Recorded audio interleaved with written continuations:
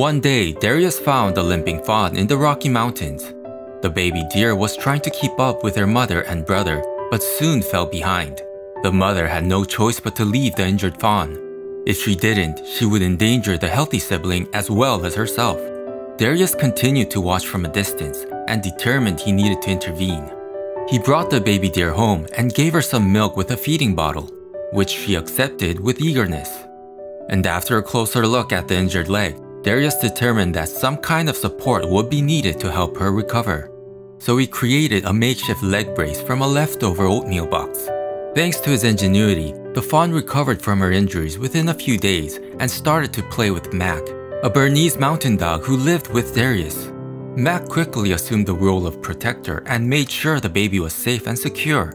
Thanks to the careful nurturing of Mac and Darius, the fawn was able to take longer walks day by day until she was completely healed. Darius knew that the longer he kept the fawn, the more difficult it would be for her to return to the wild. So he took her back to where he found the baby deer and started to show her to any deer he could find, hoping that one of them would adopt her.